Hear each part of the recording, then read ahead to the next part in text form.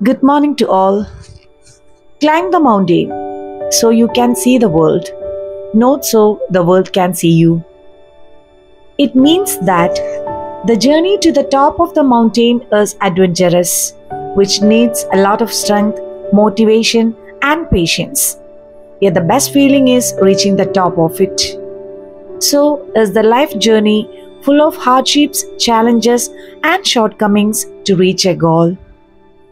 The most important thing is the accomplishment of the goal along with enjoyment during the entire journey and even after.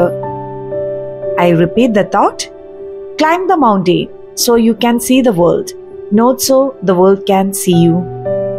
Thank you.